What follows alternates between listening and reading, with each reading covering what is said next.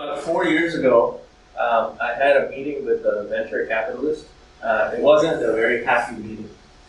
I was actually going to shut down my company, a company that I had founded and that I had ran for about four years. And uh, I was actually closing it down. The point of the meeting was I wanted to apologize to him and I wanted to let him know, you know, I'm sorry I lost all your money. And, uh, uh, you know, we decided to meet for coffee one morning. Uh, so, so Chris was actually very nonchalant about it. He said that, you know, hey, it, these things happen. Nine out of ten companies uh, that we fund actually go down. Uh, we've already factored in the risk. Uh, so, you know what? It doesn't matter. And he started asking me, what are you going to do next? So at that point, um, I was actually a little burned out uh, because, as you know, four years of uh, running your own startup, not an easy thing. And so I said, you know, Chris, I'm not really sure what I want to do, but the one thing is I don't want to go back and be an engineer. I want to do something else. And then so he asked me, so well, tell me more about what are your aspirations in the future? Will you do another startup? And I said, yes, 100%. I'm going to do another startup. Uh, so it's, you know, sometime in my future, I probably got one or two more uh, left in me. And, uh, but for the time being, I want to go to a big company, but I really don't know what to do at that big company. So uh, that's when he said, you know, have you ever looked into product management? So I said, I said, no, I, had, I don't know what that is. And then, so he said, hey, you know what? It's actually like CEO in training. And, uh, you know, if you go and do it at a big company, you'll gain a lot of experience and, uh, you know, it's something that's uh, a very interesting role, right? And so that night, I remember Googling uh, product management. I, I looked at some job descriptions and I was like, wow, this is what I really want to do, right? So, um, and then a few years later, here I am. Uh, my name is Manu Prasanna. I'm a product manager at VMware. I'm a product manager at the Cloud Management Suites business unit uh, at VMware.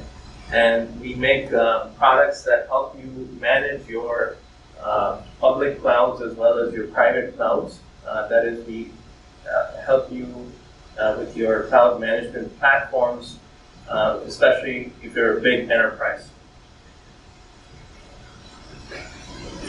So my talk is going to be about how you can be the best PM you can be. Uh, I've kind of, you know, looked back at my career as a PM, looked at all of my experiences, and I've put together uh, some some thoughts for you and some themes uh, where I think that if you follow those, uh, you can be a much better PM. So the first theme is uh, be the most interesting person in the room, right? Product management is not really well defined, and it really means different things in different companies.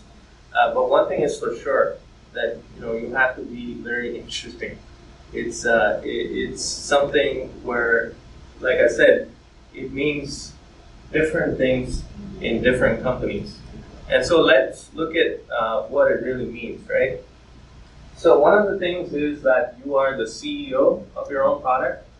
So you know you're in complete control of what happens to that product, or you should be in complete control, right? So regardless of what you want to do with that product, whether it's bringing a new product to market, whether it's entering a new market, whether it's maintaining a product that already exists and making it better, adding features, or it could be that you're sunsetting a product and you literally have to support some customers uh, during that period, right? So it, really depends on where in the life cycle you are, uh, but really you are the CEO of your own product. And also, uh, if you really think about it, uh, every company has a value creation piece. So I know some of you are engineers and some of you are uh, researchers. So that is really the value creation piece of a company, right? So there are the value creators, and then there are the value capture folks, right? So those are the folks that actually take the value that you created, and then they go and capture the value. And who are those? those are the sales folks, those are the marketing folks, and usually executives also fall under the value capture bucket, right? And the next thing I want to say is product management is really an intersection of a lot of different things. So it's the intersection of technology and engineering. Uh, so you have to work very closely with engineering. Uh, you have to be able to talk technical. Um, and then it's also an intersection of design. So, you know, you, you want to be, be able to, uh, you know, design uh, a really beautiful product, right? And so uh, you've got to have some sort of design intuition, uh, be able to work with some of the folks, uh, you know, that are uh, in the UI UX uh, organization within your company, and uh, so so there's definitely that design aspect, right? And if it's a if it's a consumer company, uh, sometimes there's a little bit of psychology also involved, right? You got to really get into the heads of your customers, and you got to help. you know, you got to understand like what they really want so you can build the right product for them. Um, and then finally, there's the business piece. So business, like I said before, uh, these you have to interact with the value capture folks, the sales and marketing folks. Um, so you know you have to be able to talk business to them. So you have to be able to talk technical to the engineers. You have to be able to talk business to uh, you know sales and marketing folks, right? And the other thing I want to mention is that you know there are things that don't fall under any bucket sometimes. So what happens is as you're building a product, there's certain things where it's like you don't have a person to do it, right? And you're like, you know, who's gonna do this? But at the end of the day, if you're a product manager, you have to be proactive. You have to roll up your sleeves and do it, right? So if there's something, a task where you don't really know who ha- who can do it in your company, you know, if you're a good product manager, you will do it. And then um, the last thing I want to point out is, you know, product being a product manager involves interacting with different um, divisions or different business units uh, within your company, right? And there's a lot of conflicts. There's you know personalities. There's politics. So you you have to navigate all of this. And very often, what happens is uh, you end up uh, being a shrink, right? You have to literally uh, talk to folks and, and sort out uh, some of their differences.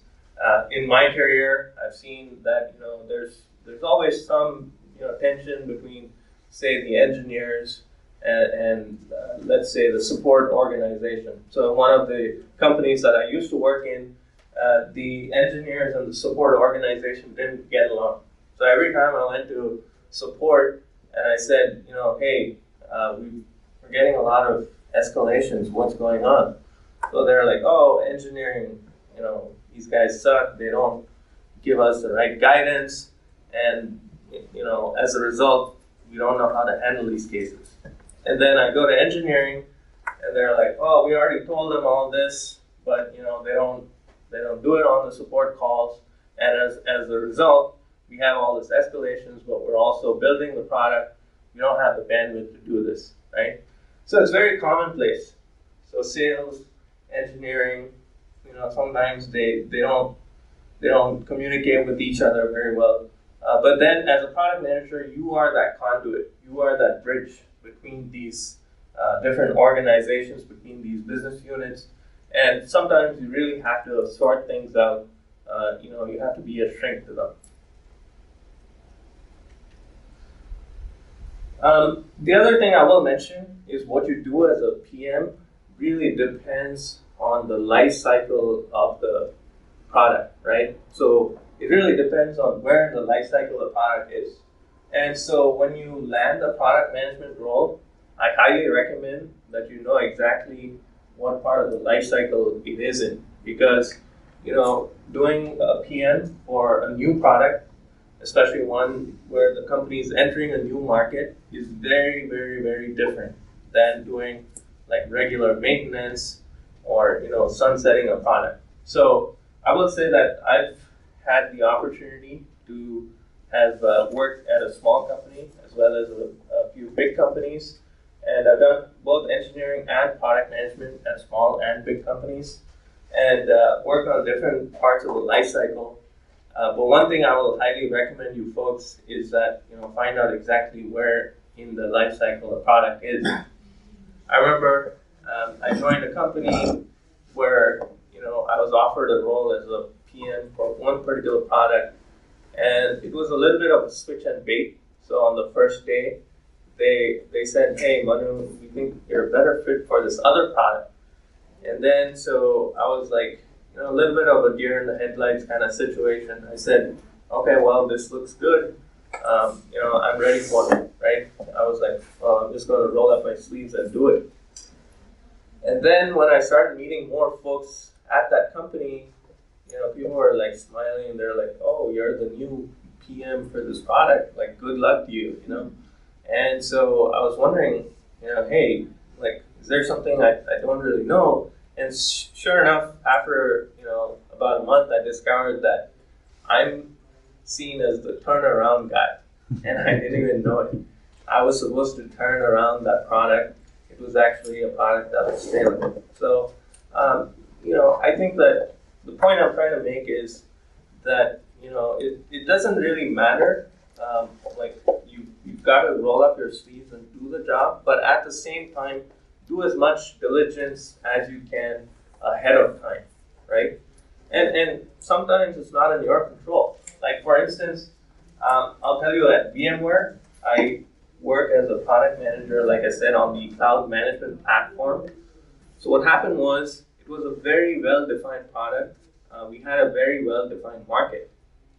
But when I joined, uh, what I discovered is that you know that market is actually shifting, right? So there were three main or major uh, tectonic shifts that were happening in that market. So one of the shifts was uh, so let me just give you some background, right?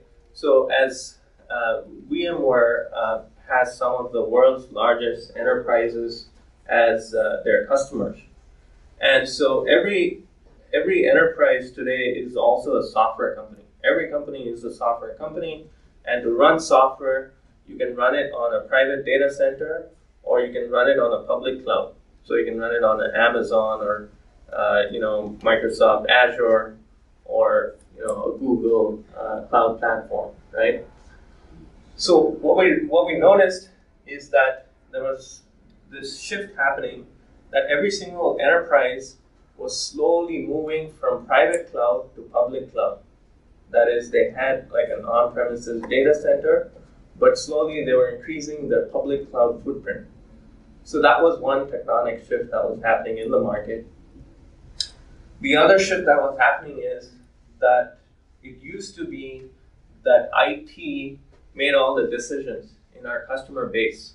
So they called all the shots they chose the cloud providers, they chose the tools that the developers use.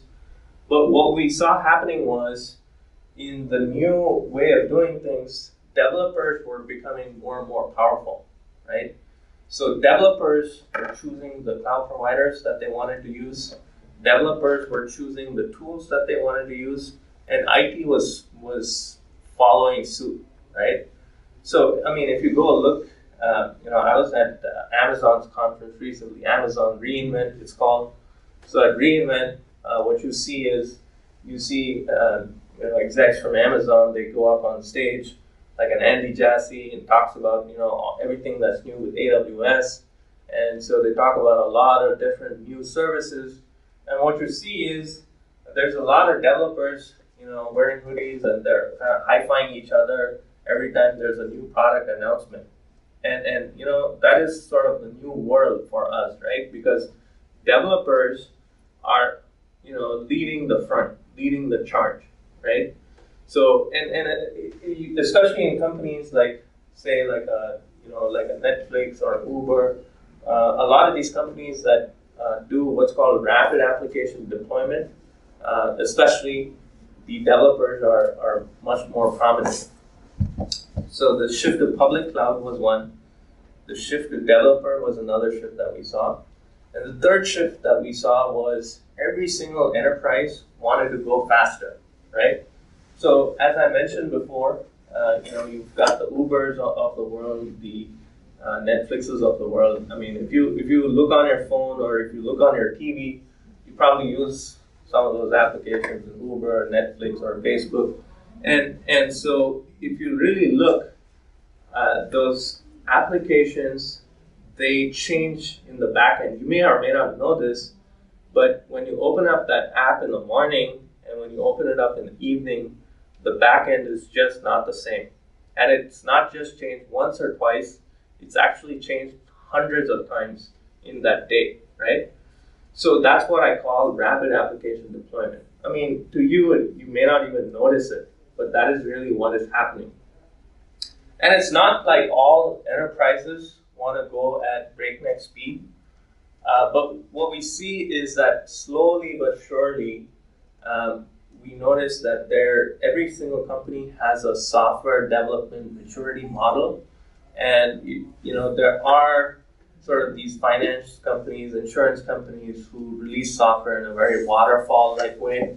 So they release every you know six months or every year, and then you've got the Netflixes and Ubers that are releasing hundreds and hundreds of times a day.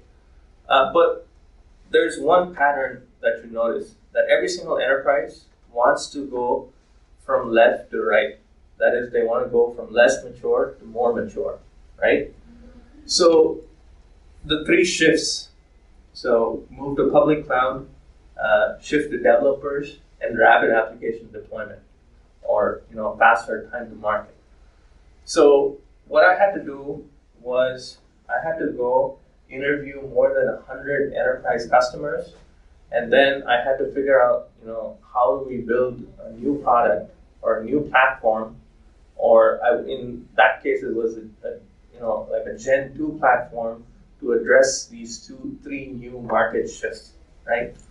So in, in this case, it's not like I showed up at work and then maybe work on a different product, but the market has shifted. So what I'm trying to tell you is that you've got to be, you know, highly reactive, highly responsive, and I would say, I would say you want to be more proactive as a product manager. Uh, get in front of all these type of changes that happen, and you've got to be very well informed. Right? Do your due diligence, figure out what's happening, and figure out how that job is going to evolve.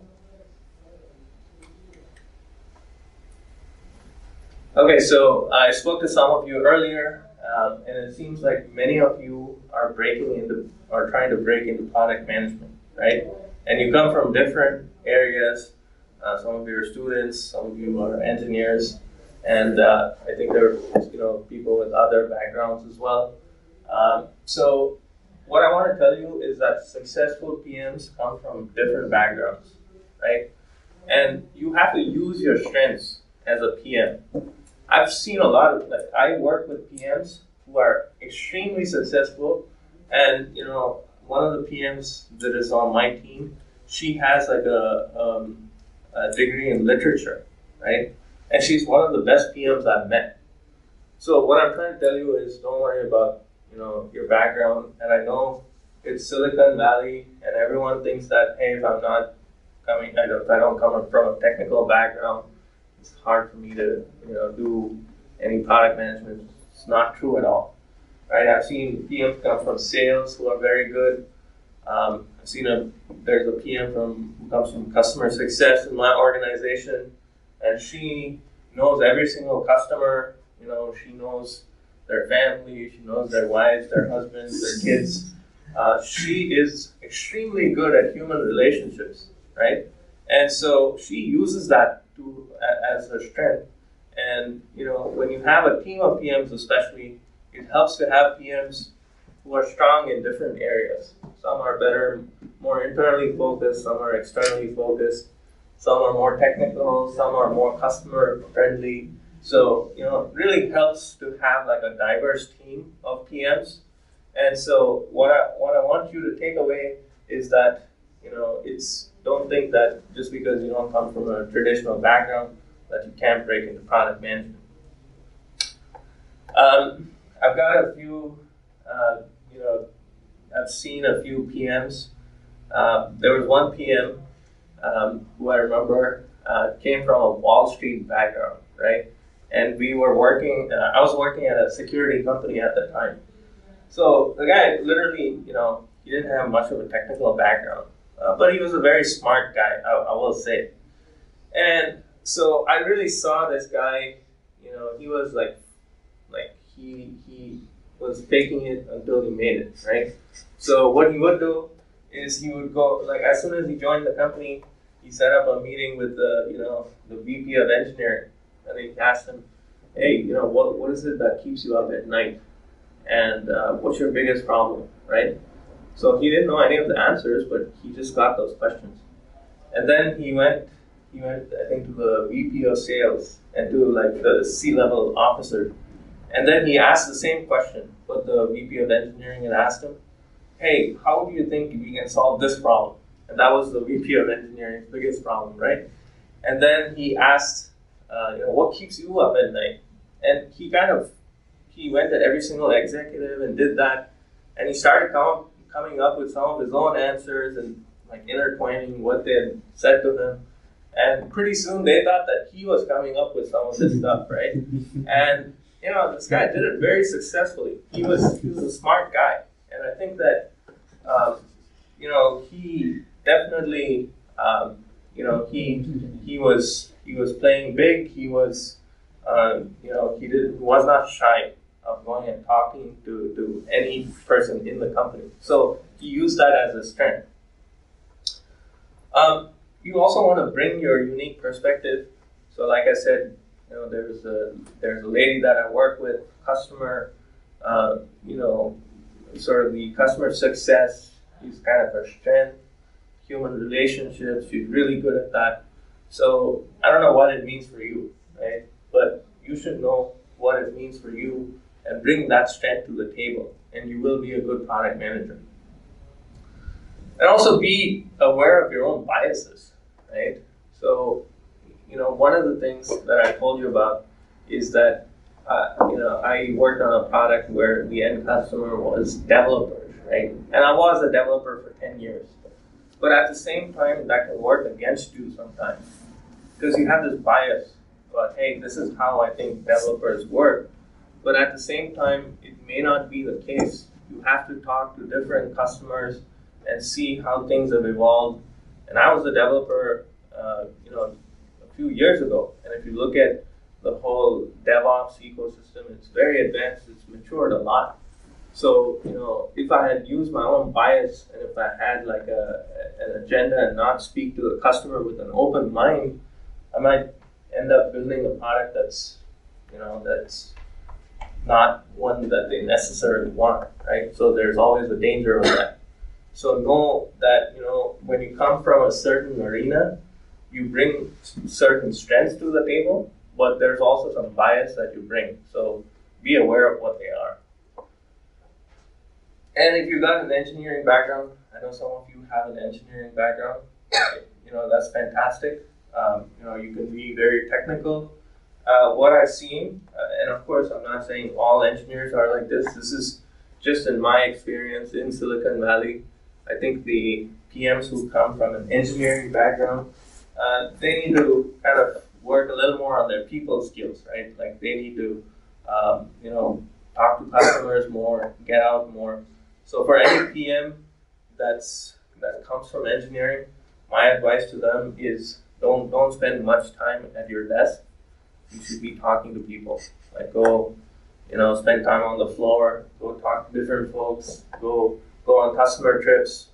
Go talk to as many customers as you can so get that, you know, customer perspective, get that outside perspective. Uh, you already have a technical background, that's a huge advantage. Uh, but make sure you, you polish up on, on the other aspects of what it means to be a, a PM. Um, and like I said, diversity of ideas is good. Um, if you know, uh, some of the best teams that I worked on are teams that come from different backgrounds, different, um, you know, different disciplines. Um, you know, and, and, I will say that, um, you know, as, as someone who's um, been on a few patents, uh, you know, the inventions happen when people from from different uh, arenas kind of work together, and it you know you push the boundary of innovation when you work with people who are experts at different things, right? So diversity of ideas is very good. So uh, know what your strengths are, bring those to the table. Uh, that's my advice to you. Um, PM and engineering. Now, this is a very special relationship, right? You got to be tied at the hip with your uh, engineering leads uh, because at the end of the day, these are the people uh, that are going to build your product, right? And you really want to earn the respect of engineering. Uh, so obviously, be very well prepared when you go talk to engineering folks. Uh, especially in Silicon Valley, it's you know we've got some of the best engineers in the world. Um, so you know it doesn't matter if you're not technical. Um, you know at least go and learn about it. You know maybe what you can do is um, is make a buddy in engineering. Uh, go out for lunch with the engineering folks. Um, you know I do that all the time. Good conversations happen over uh, during uh, lunch. Um, and then, you know, maybe you can uh, maybe you can uh, develop a friend in engineering who um, who can ask embarrassing questions. You know, like the first day of uh, being a PM uh, of a certain product, I didn't understand it very well, so I asked someone in engineering, "Hey, what does this product actually do?" And so, uh, what I'm trying to tell you is, don't don't be afraid to kind of ask you know, the, the dumb questions or the seemingly silly questions and, you know, have like a, maybe like a buddy in engineering who you can talk to and ask know, these types of questions. Um, you know, pay attention to different types of personalities. Um, this is especially true, um, you know, where you want to get something done. Uh, I remember at uh, VMware, I was working with a team uh, based in Eastern Europe, right? And one of the engineering leads, uh, he was extremely hard um, to kind of convince to do like what we wanted him to do, right? So um, I actually, we'll, we'll, just call him Ivan. Um, so I flew to Eastern Europe to meet Ivan, and uh, I remember it was Wednesday, and uh, you know, I said, hey, let's let's let's meet, and I want to have like I have an agenda. I want to talk to you about something, and so he kind of avoided me Wednesday and Thursday, and on Friday evening he set up a meeting, and then uh, I just said hi, and then he talked for a whole hour, and then it was a one-hour meeting. So he basically, uh, it was very hard to get through to this person. Is what I'm trying to say. So uh, what I what I then realized is that he has a number two guy, and the number two guy he really listened to, right? So what I did was I, I became more friendly with the number two guy, and then so before any meeting, I would have a meeting with that person, uh, prep him for the meeting, and then so when the meeting with Ivan actually happened, um, you know, when I asked Ivan to do something, he would be very skeptical, but he would look at the, the other guy, and the other guy would say, "Yeah, I think it's a good idea." and then Ivan was like, "Okay, we're we're gonna do it, right?" So, you know, develop a strategy, know how these people work, right? And so, um, it, you know, you gotta brush up on your technical aspects. Will, like I said, in Silicon Valley, you will not be respected unless you're a little technical, so uh, brush up on those aspects. And uh, you know, engineers actually like it when they come up with ideas. So use your engineers as an asset, right? So they love it when they come up with an idea and you implement it. So what I do is sometimes I actually involve the engineers in the conversations that I have with customers so they can hear straight from the customers. And sometimes uh, you know, it's their idea, and they're like, yeah, this is exactly what we need to do. And they're a lot more motivated. And sometimes you can even seed the idea, right? It could be your idea, but if you kind of seed it, and then they're like, hey, how about we do this? And you're like, yes, you know, that's what we want to do.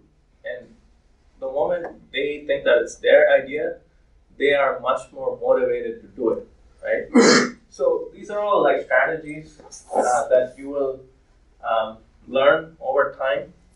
Uh, but the one thing I will tell you is that don't let engineering walk all over you.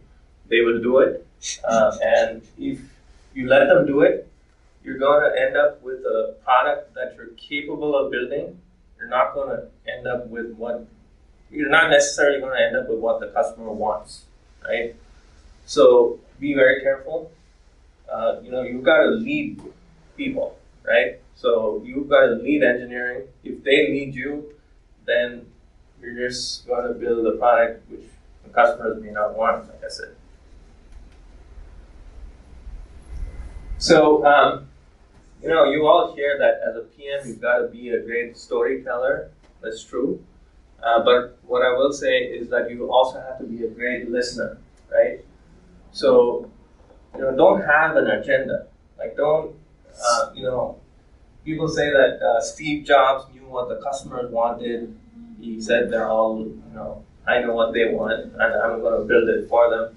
It's not true, right? Even people at Apple who really knew him know that, know, he kind of went to the Apple store on the weekends. He spent three hours just watching what customers did, right? So obviously he did a lot of research and you know he gathered a lot of knowledge about what customers want, right? And that's what you have to do. Don't don't have an agenda. You might think you know what the customers want, but you really got to listen, right? Without any bias, without any filter, um, and, and you know you got to spend more time with them. Uh, talk to as many customers as you can. Um, so, you know, for an enterprise product, I would say that you know you talk to um, as many customers as you can, make road trips, uh, you know, go meet the customer, right? Actually spend time with them, meet them at their office. You know, maybe you spend a whole day with them, starting from you know when they make coffee in the morning, right? Like you have to literally get into their heads and understand how they think and how they work in order for you to build that product. And this is true of um, enterprise also. I mean, you, you can say, uh, I mean, people say, you know, B to C, to uh, business to consumer, B to B, right? But at the end of the day, it's all human to human, right? Even in the enterprise, uh, you have, for enterprise products, you might have multiple personas, uh, but you, you are serving that persona in the customer organization go and spend time with those folks because I think that the more time uh, you spend with them, the more you know about how they work, uh, and the better product you'll be able to build.